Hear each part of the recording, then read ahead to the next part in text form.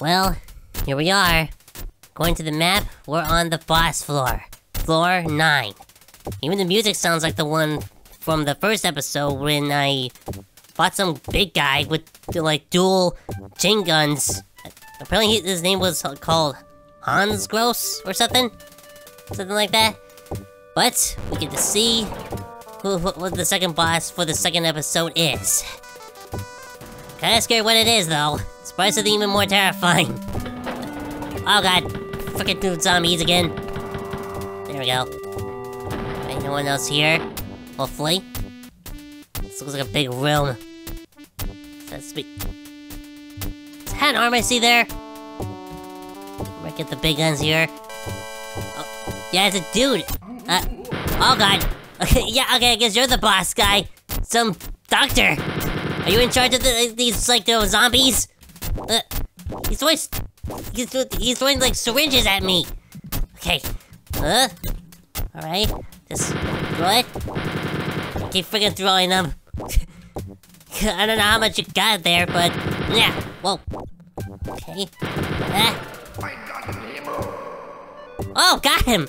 Awesome! Let's see that again.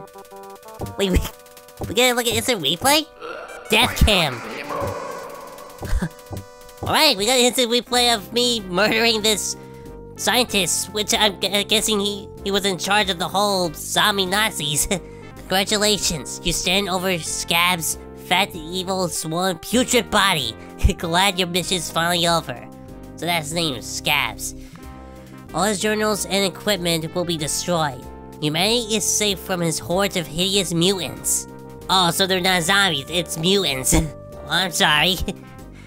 Yet the Nazi atrocities continue. Thousands march into death camps, even as the Nazi war machine falls to its knees. There is only one way to stop the madness. Mission Terminate Hitler! In episode 3, Hitler hides in his titan- uh, Titanic bunker as the Third Reich crumbles about him. It's your job to assassinate him, ending his mad reign.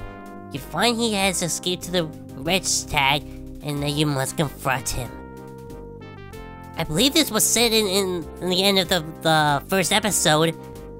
oh boy, so I, I can actually fight Hitler. Even though I know he's dead in real life. But being able to destroy him in a video game, dedicated to destroying Nazis, oh, that's gonna be real good.